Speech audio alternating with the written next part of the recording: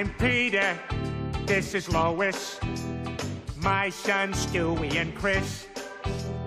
Our dog Brian, and the rest is this. We live in Quahog near the beach. A wizard gave my baby the power of speech.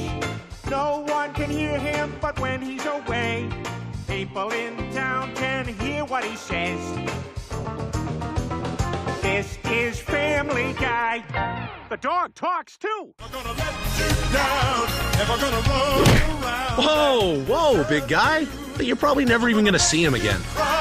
Never gonna say goodbye. Never gonna tell a lie and hurt you. Not giving up on my dream like I did with that indoor hot air balloon.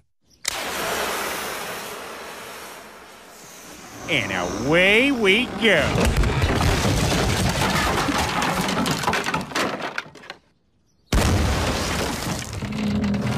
No, no, no, no, no, no!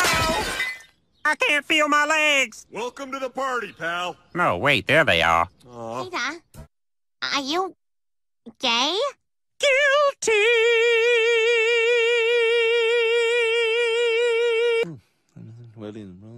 What? I said homosexuality is wrong. Like going through life with a scrotum so close to your mouth. You know what? Hold on. I'll just ask your teenage daughter. That, that's inappropriate. You know, Peter's challenging the stereotype of Irish guys being fat, drunk, and stupid by throwing a little gay in there, too. Peter had steamed vegetables and brown rice that evening, then ate like crap for the rest of his life. Nonetheless, he was immortalized on Bing Maps. fat people are amusing to me. Hang there, you fat bitch. What's going on? I think you're getting a diaper change. Ah, get that poop-filled thing away from me! No! Oh, God, it's cold!